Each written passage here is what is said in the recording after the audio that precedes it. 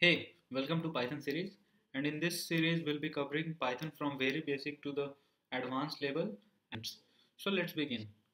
Why Python is the great first language?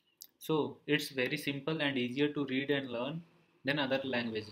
If you have already studied C or C++ or Java, also how it how it's different from these languages.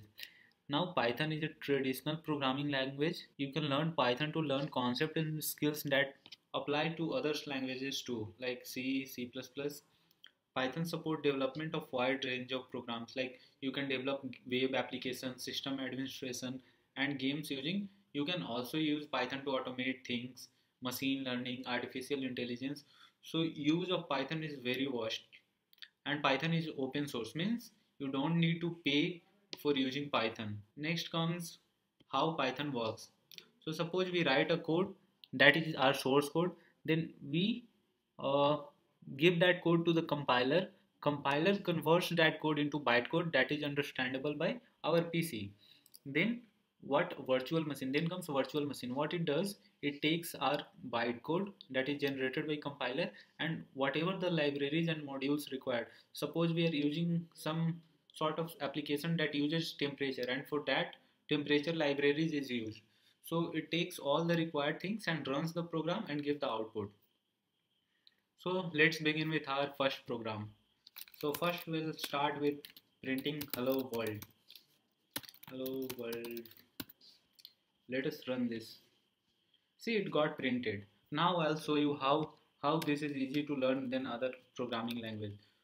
So for that I'll first tell you how how we can write comments. In python we use hash hash symbol for writing comments. So welcome to this course. And I hope you will subscribe to this channel because I'll be posting all the videos for all the chapters that is in VTU syllabus. So this is single line comment. Like we need to write comment in only one line. And what we use the comments for? We use comments for explaining the some part of the program to uh, suppose your program is used by some other programmer then he can understand that part of the program. Now let us look how we can write multi-line comments. So for that we use three quotes and within this we can write multi-line comments.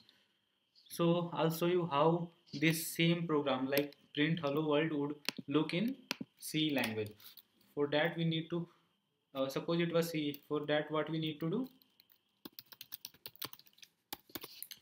so for printing this simple print hello world hello world printing hello world in C we need to write these many lines and you must notice here see I am using curly braces here and here we don't need to use all this so in place of these curly braces in Python we use indentation I'll tell you in the later part of program. Suppose I'm trying to print another line and say hey everyone. And if I run this, it will give an error. That is indentation error. See, unexpected indent. Means uh, what indentation mean? Means it takes space as suppose whatever the content here is in the main we are we are putting that in curly braces. And in this python we use a spacing for that. I'll show when i'll teach you the uh, for loop and all. So till now we learn about comments and indentation suppose we need to print a line that is not in same line. Suppose print one statement. Suppose there is one sentence. Let us make one sentence. Hey everyone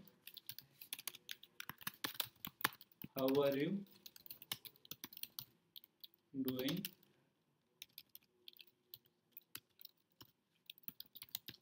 Welcome to this tutorial. See it's going beyond this line. This this line. We want to get it saved in the single line. So what we can do? We can press enter. See this this symbol got added here. Why this got added? It got added to so that we are changing one line to multiple line. And that we call explicit continuation. I'll make this a bit smaller now we want to print this. Print sentence. Let us print this what see hey everyone how are you doing? Welcome to this tutorial got printed here. What uh, there's one another continuation also. That is uh, implicit continuation. Suppose we want to print the same statement. Hey everyone. And in the next line we want to write how are you suppose uh, this this was going beyond that line. So we need to change the line and let us run this. See same got printed. So this type of continuation is called implicit continuation. Now we'll learn about look at the what are the different data types in python. So first data type is string. String then comes integer type and float. Let us see with all with some example. So for string suppose we'll take one variable name string 1 equal to everyone. And in in integer we take a number. So number equal to whatever we want to give. And we'll take float float number see we can also assign a string. Suppose we'll take one string variable too and we can assign using single quotes also. Hey everyone. And this will do the same thing that we uh, we are using using double quotes. And let us try to print all this print string. Let us run this. See everything everything got printed. Hey everyone from string 2 hey everyone from string uh, 1 and then this number and this number so what if we want to separate it? See we want these values to be separated by something. So in that case we can use separator. We can use separator. What it does? It takes one argument like suppose I want to separate these all by this symbol. Now let us run this again. See everything got separated by this symbol let us add some space also. Again let us run this. See here even space got added here after every uh, variable. Now we can use one another thing. I'll copy this. Suppose we want to add something at the end. Suppose we want to add something here. Let us do one thing. For that we use end. And in that I'll give exclamation mark three times. Let us run this. See here exclamation mark got added in the end. So now we'll look at how to name our variable. So these are the rules for uh, naming our variable. So variable name must begin with a letter or underscore. Then a variable name can't contain spaces, punctuation marks or special characters other than underscore. We can use underscore and other than that we cannot use anything. A variable name can't begin with a number but can use number later in the name. A variable name, see here. I have used a string 2 means starting with some letters or characters but at the end we are using a number. So we cannot start a variable name with number but we can add in the later part. A variable name can't be the same as the keyword like while, for. We cannot use like see here. If I try to use while equal to 43 and let us run this, it will give some error. See, invalid syntax. Now we'll look at arithmetic operators. So multiplication and divide. And here are two additional like double divide. What it does I'll tell you. Then comes modular and finally double star. So let us learn this all. Suppose 12 plus 12 very basic now we'll look at this double divide what it will do. So let us take here 2 star star 3 so let us run this. So these are the operators that we will be using in python. So first is plus operator. So what it does it adds 12 plus 12 24 12 minus 12 0 multiplication these are the basic everyone knows. 12 into 12 12 to, this is giving for 12 divided by 12 now in the next line 19 divided by 12 so it's giving 1.583333 something.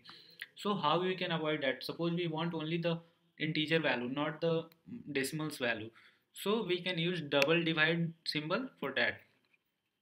And see here modular what it does? Will give the remainder value. So 19 divided by 12 sorry 19 modular 12 it will give remainder whatever the remainder will remain. And what double star does it takes suppose we are giving 2 and the second variable we are giving 3 so it will multiply n times means its powers 2 into 2 into 2 so what double star operator does? It it acts as power. So 2 power 3 2 into 2 into 2 means 2 into 2 4 4 into 2 8 so these are all about arithmetic operators. Now let us look at one another example so 2 into 3 plus 5 and again I'll comment everything. So here I'll use one parenthesis. So let us see the difference between two by running this. See both are giving 11 11 but what if we change this to plus and this also to plus sorry plus and 3 into 5 and here also 3 into 5 in the previous it was giving 11 in the both. Let us run this again. So this time it's giving 17 and 25 so 25 is the correct answer. It should be correct answer for this because 2 plus 3 5 into 5 25 and here what will happen first?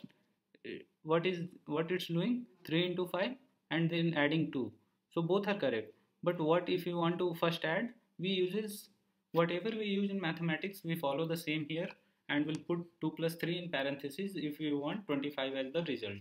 Now we'll look at compound assignment. So what compound assignment does? Let us first look what compound assignments are. Plus plus plus equal to and then my minus equal minus equal to and multiplication equal to. So let us use this.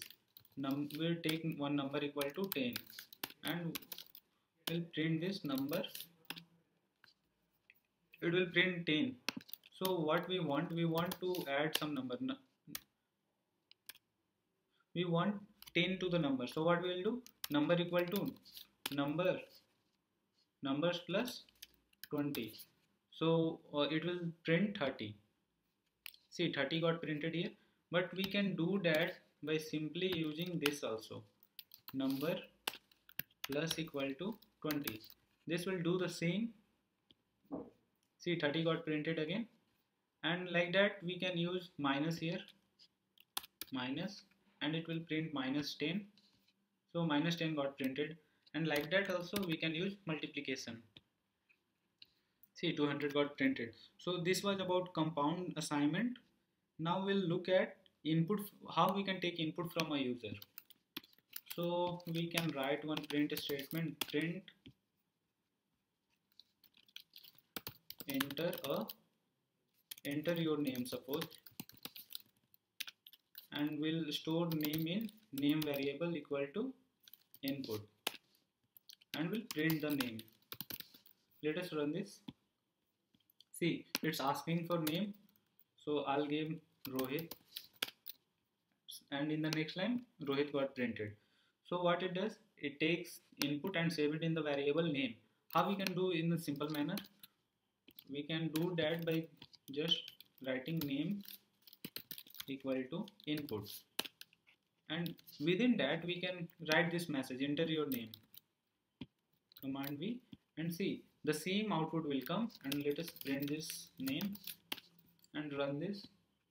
See exactly at the like previous example it's asking for enter your name let us give Akash.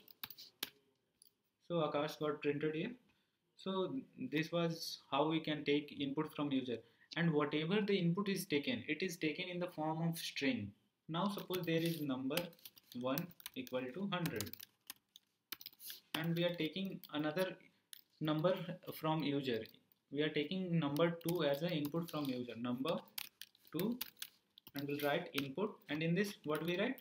We'll write enter number 2 and we'll print first we'll print number 1 then followed by number 2 and let us run this. Enter number 2 300 so 100 and 300 got printed here. But what if you want to add this number? Let us try adding this. So when we will run this it will give an error. Suppose we are giving 34 see it's giving an error type error unsupported operand type for plus int and string. It's saying that first 100 is int type and the second one is string type but only string type can be added with the string type means concatenation. So how we can avoid that? We can avoid that by converting this into int. Int now what it does?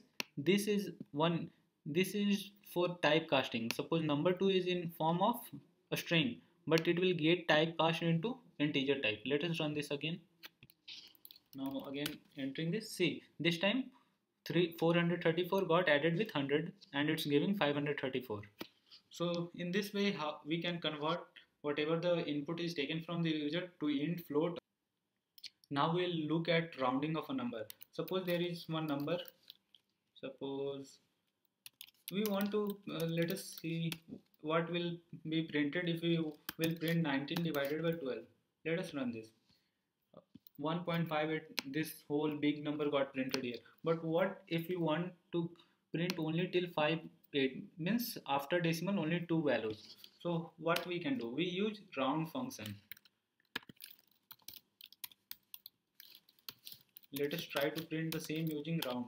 So within print we can use round and there will divide 19 divided by 12 until which digit we want? Till second. So let us run this and see what got gets printed. See now it's it got printed till 1.58 only. Huh, one another thing. Like uh, writing variables name we can use two type means we can use two ways to write a variable name. First is so let us take one example how camel case is written. As the name suggests camel case means see my first letter is started with small and then the next whatever word will be my first. Then f will be with capital first variable. So variable will be with capital with equal to some string. Like that uh, we can use underscore like my first variable equal to this. So we can use either this way of writing the variable name or this way. Both are correct. So that's all about this video. We'll learn about loops and while loops for loops if else statement in the next video. Thanks for watching